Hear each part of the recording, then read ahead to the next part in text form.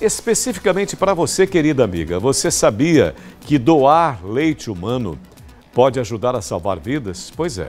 Se você estiver amamentando e quer saber como ser a doadora para o Banco de Leite Humano Marli Sarney, a gente vai mostrar a partir de agora como é fácil, rápido e você nem precisa sair de casa. Presta, portanto, muita atenção, porque é muito séria essa questão.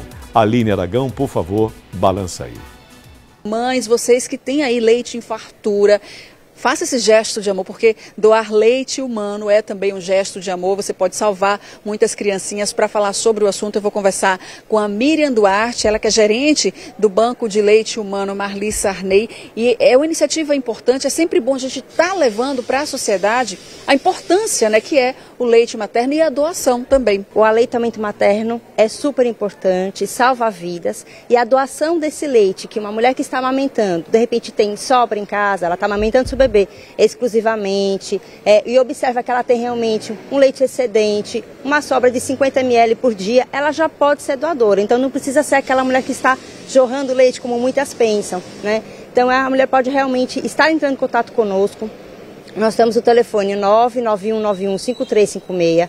Nós temos também o um, um, nosso Instagram, que é o, Marli, é, é o Banco de Leite Marli Sarney. Pode entrar em contato conosco pelo direct, que a gente também responde e faz o cadastro dessa doadora para ela ser realmente um, ajudar outras crianças e salvar vidas. Miriam, e é importante a gente levar essa mensagem que a doadora ela não necessariamente precisa estar no, branco, no banco de leite. Depois que é feito esse cadastro, a doação é, pode ser. A, a, o banco de leite vai pegar na casa da doadora. Isso. Toda doadora entra em contato conosco pelo telefone ou pelo Instagram. É, nós vamos fazer um cadastro com essa doadora, solicitar os exames que ela fez no pré-natal, ela não vai precisar fazer novos exames. E aí a gente vai fazer o cadastro, orientá-la como vai, como vai ser feito o processo da ordenha, o processo do armazenamento em casa, e a gente vai levar esses frascos para ela já esterilizados eh, e onde ela vai realmente coletar esse leite. E semanalmente a gente vai buscar o leite na casa da doadora. Esse leite que chega para o banco de leite, como é que ele é distribuído? Pronto.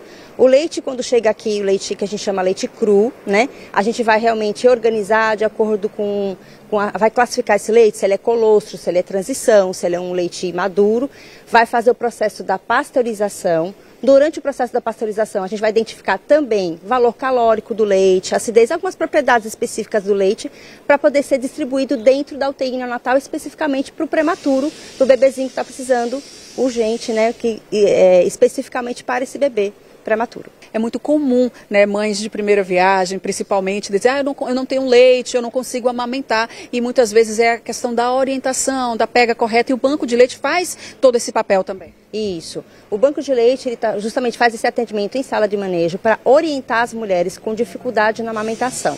Então, às vezes a mulher acha que o bebê não está pegando corretamente no peito, ou está fazendo alguma ferida como fissuras, e isso pode ser porque a pega do bebê no peito está, está sendo incorreta. Então a gente vem, a, a criança, com, né, a mãe vem com o bebê para justamente a gente corrigir essa pega, orientar melhor e sair daqui amamentando. O importante é, pelo menos os primeiros seis meses, estar é, realmente amamentando seu bebê e, se possível, estender até dois anos ou mais.